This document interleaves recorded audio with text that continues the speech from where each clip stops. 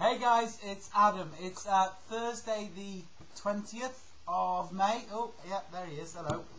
Hello. He's a bit excited because he's not had a walk. He didn't have a walk yesterday because we were, um, I was filming so much that I just didn't get a chance to. Mean, he had his run in the morning, his 10k run, don't worry, so he didn't completely fail. Um, but yeah, so anyway, hi, how you doing?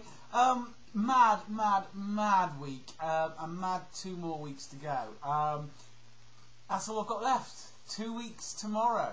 I'm done. Scary. Um, so yeah, doing all the storyline for the leaving of Kieran. Um, it's it's so good. It's just it's like nothing Shortland Street has done before. Nothing. Um, this like TV movie they're doing. It's absolutely phenomenal. Can't tell you anything about it, of course, because I'll get um, castrated.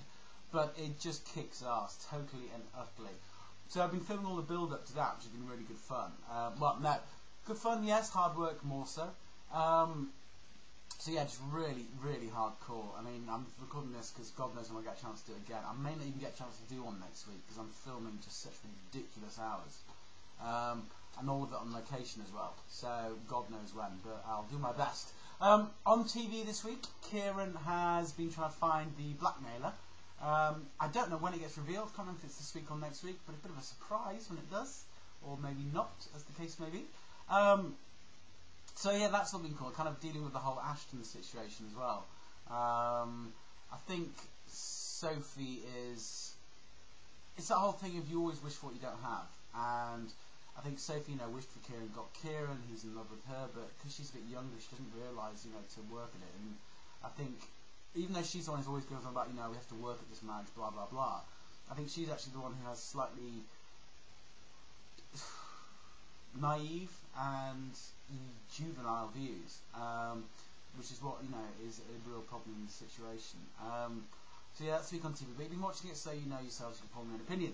Um, outside of that, I've been trying desperately to do some recording in the studio as well. And oh my god, the music is just going to kick so much ass. It's unbelievable. Um, yeah, people are talking about it just being absolutely huge, which is cool. Uh, I mean, I'm just going to enjoy it. That's my main thing. Um, you know, whatever it does, you know, with regards to charts, I don't care. Um, I'm just going to enjoy it and do enjoy doing the gigs. Um, booked my flight back to the UK. Uh, leave here on June, the last day of June. Um, so we'll be back in the UK on the 1st of July. Uh, so yeah, it's kind of all kicking off crazy madness. Um, he can't come with me for a while though, because he's got these. There's these quarantine laws where they have to have these injections for rabies and then a blood test, and they can't travel for five months after the blood test.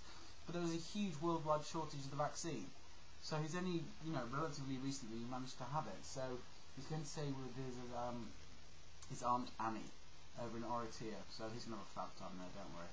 Um, Tim's off at uni. Uh, he's doing bloody well. I don't know who he's watching this back in the UK knows Tim, but he's doing phenomenally well. He's, he's, he's cruising it, but only because he's working so hard. But he's doing just absolutely brilliantly. Um, so yeah, really proud of him. Um, he's just he's just top bloke. Um, anyway, I've got a bugger off, so we're going to do a photo shoot for the Sunday Star Times of 50 years of TV and Z.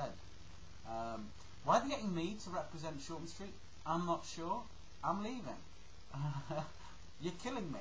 Why am I doing it? Um, but they are, so there are. I'm off to do that now. Um, anyway, thank you for your messages on um, shortlandstreet.co.nz, but also on my Facebook page. Uh, just, just you're phenomenal. Um, I really appreciate it so much. Um, make sure that you, when you ask your friends, that you go on for the one which isn't full, not the AC full one. There's another one. Um, because the AC full one, you can't let anybody else be friends with them. I don't want to turn you down. Um, but yeah, kicking, loving it all. Thank you very much for everything. Uh, say all your messages. Um, Mark Webber won the Monaco Grand Prix. Boo hiss. That's success.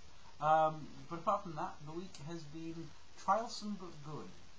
So there you go. Okay, lots of love, and I'll speak to you all next week.